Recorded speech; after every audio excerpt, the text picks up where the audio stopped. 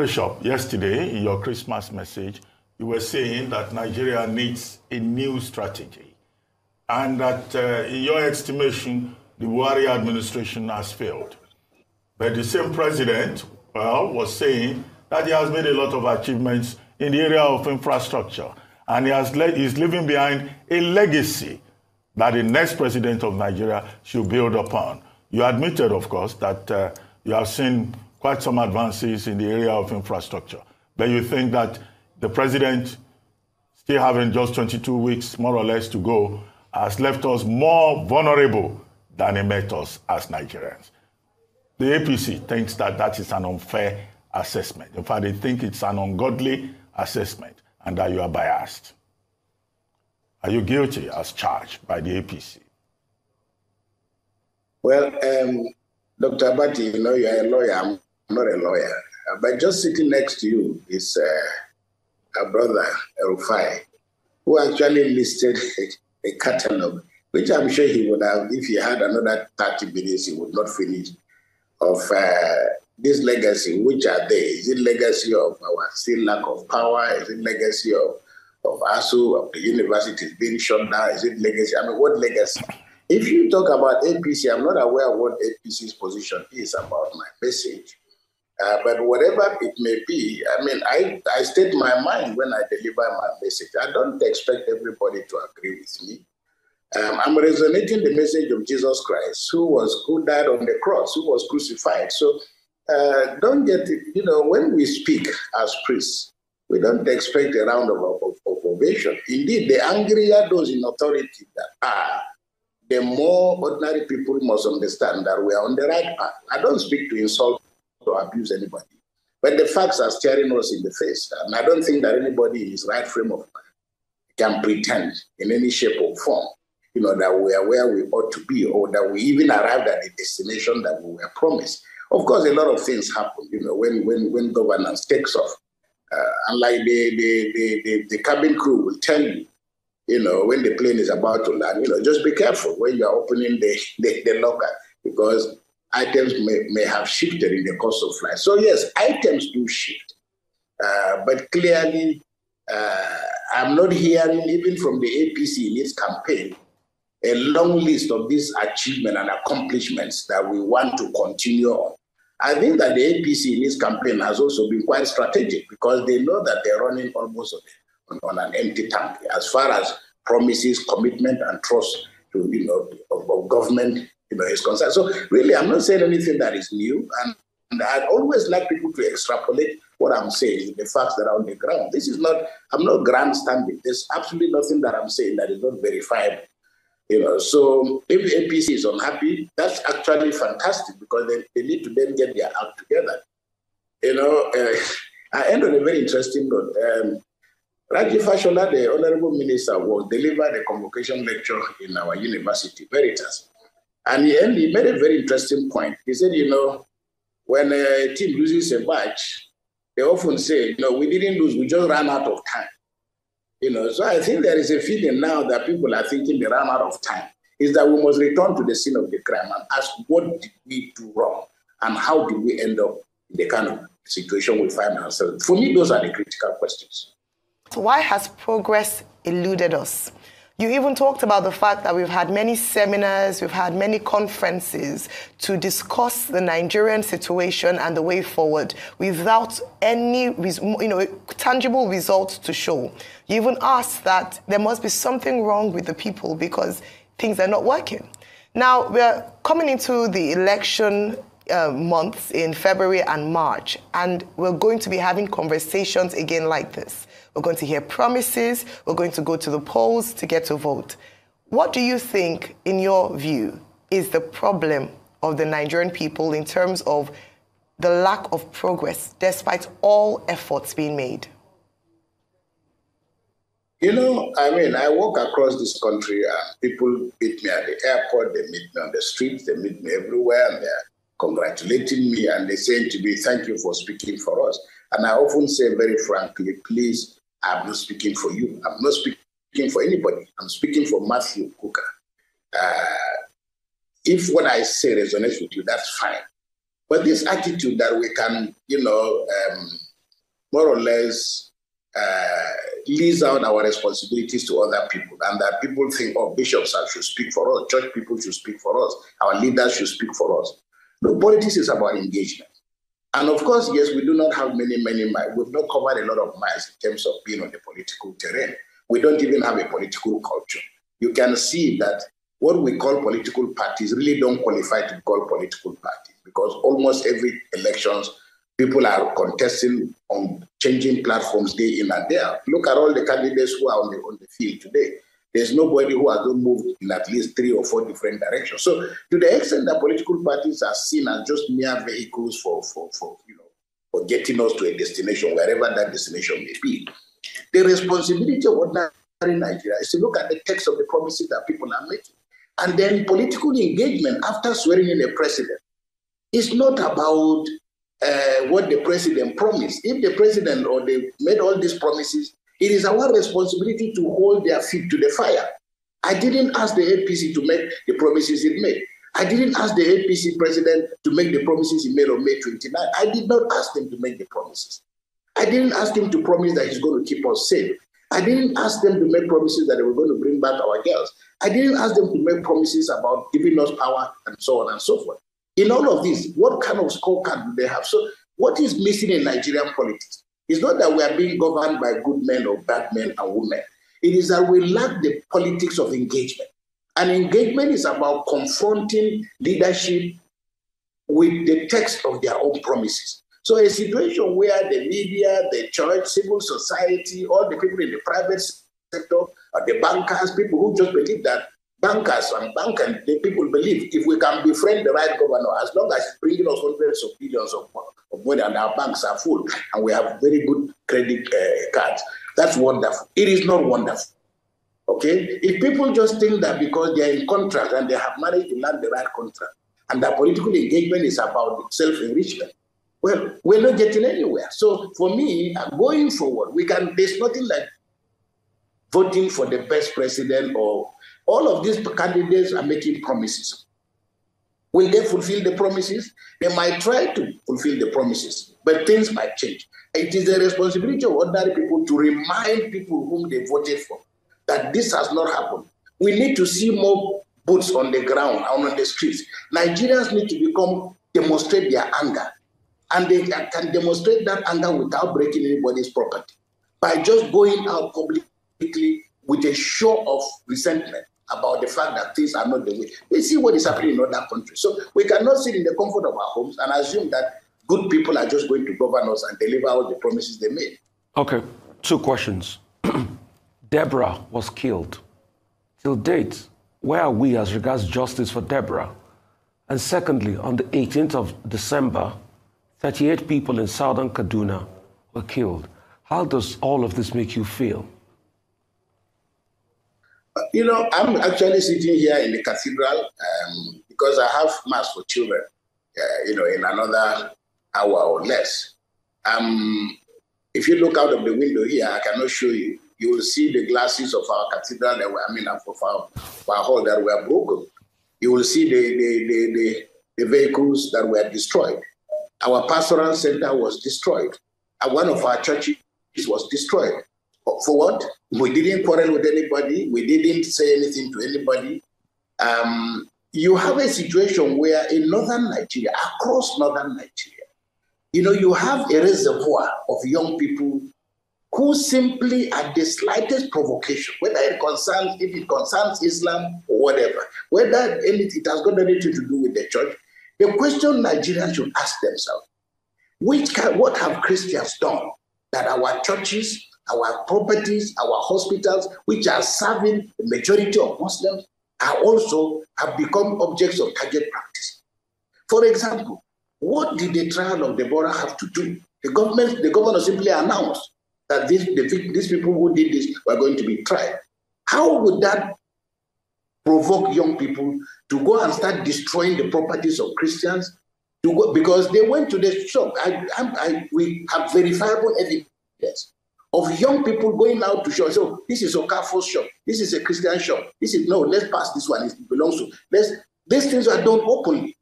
When a president wants to tell me about wishing me a happy Christmas, I need to hear him say, no Christian, nobody in this country can lose their life because some some somebody stood up somewhere and said he wants to defend, you know, his religion.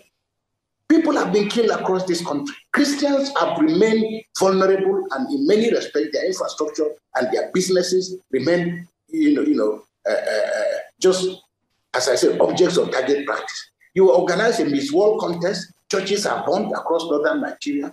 You draw cartoons in Denmark, churches are destroyed in northern Nigeria. As I'm talking to you, when the president says he's wishing me a happy Christmas as a Christian, I need to hear the president tell me I can build a church anywhere in Daura if I if, if I if I want if I apply for land. As it is, it's not possible. I need to hear the president say professors who are in who are in universities in northern Nigeria, students, Christian students who are in universities in northern Nigeria, across the whole of, of the country, can have places of worship. As I'm talking to you, universities 40, 50 years up till today in most universities in northern Nigeria, the Christian community has no place of worship. So when people stand and look at me in the face and say, We're wishing you a happy Christmas, you know, I need you to walk the talk. So if you ask me, what am I supposed to say?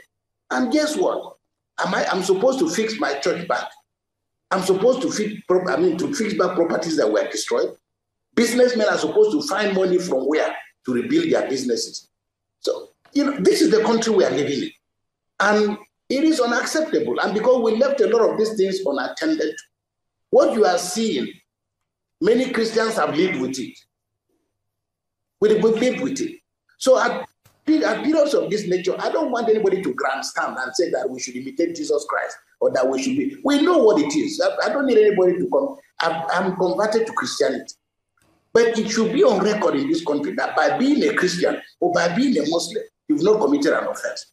So I feel and I believe and I know the facts are there. They are verifiable.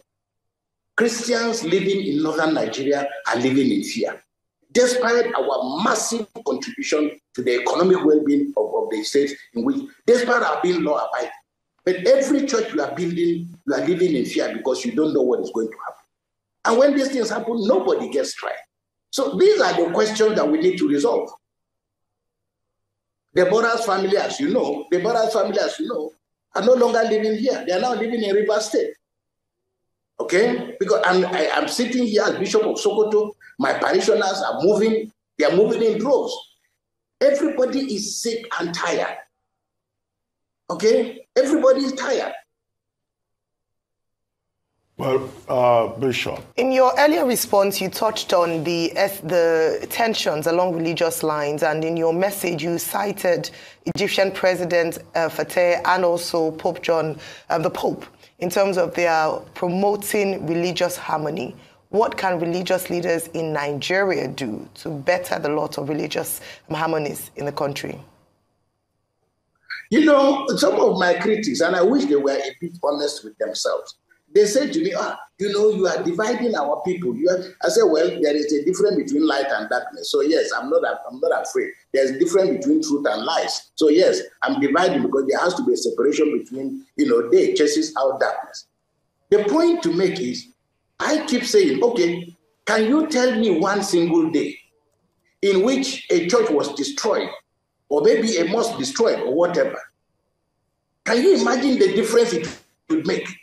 If a president, if a governor, if a traditional ruler, bishop, imam, emir, if they went to condole with the Christian community and are able to make those statements very clearly, what is happening to us in Nigeria as Christians, and it didn't start today, but it has started over a long period of time. And indeed, I have argued this is what gave vent to Boko Haram. Because when leaders go around making grandstanding statements about what they will do with religion. You weren't elected to build mosques. You are not elected to build churches. You are elected. What of what use is it for us to have governors or ministers or presidents building mosques or contributing to mosques when we don't have the roads on which we can, I mean, drive on even going to the churches? It's not their responsibility. So the point I'm making is, Al-Sisi in Egypt has done things that up till up till 10 years ago or so why did, the, the, uh, Islamic Brotherhood produce a president? Now, the level of animosity against Christians in teaching was palpable, and the level of discrimination. But Al-Sisi has covered a lot of grounds in this regard. And like I pointed out in my in my in my message, and there, there is evidence. You, the evidence is there in my in my message. Can you imagine what it will mean for the president of Nigeria to come to Usman Danfodio, to go to Bayero University and lay the foundation for the building of a church in, a, in an environment of that nature? Can you imagine what, the, what, what, what it will mean to a small Muslim population, whether it's in, uh, in, in, in, whether it is in, in Oka, whether it is anywhere, for a president who is a Christian or governor to go there and oversee the building or the reconstruction of, of a mosque. These are the symbolic gestures that ordinary people do. But what we have is presidents, governors continue to throw raw meat at the fanatics and the extremists. Because when you say nothing, your silence can be taken as complicity.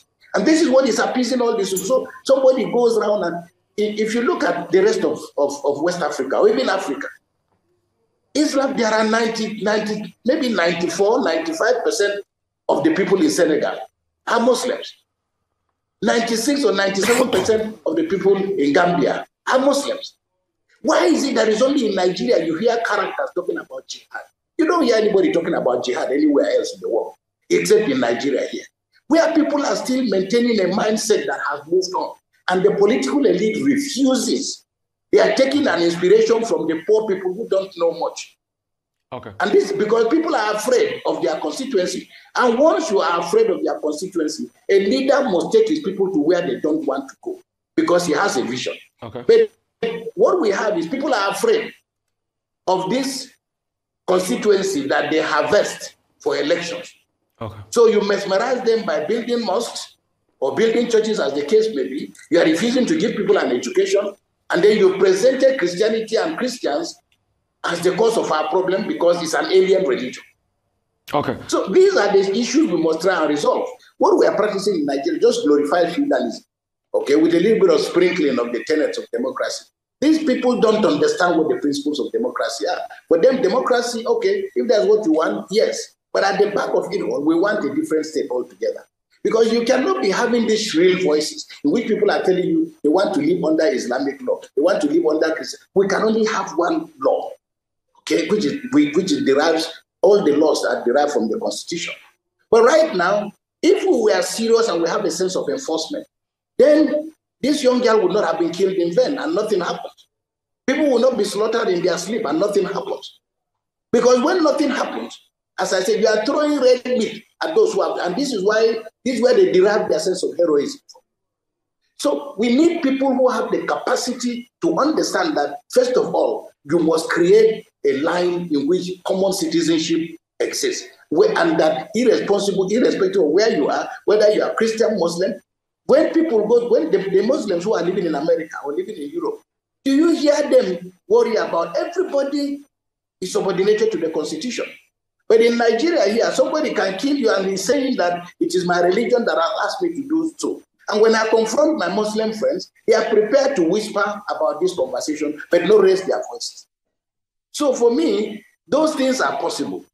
After all, Obama would not have come to the surface in America. They, they, uh, Ms. Harris would not have emerged as vice president of America today. Eight Nigerians would not have been appointed to the administration of Joe Biden.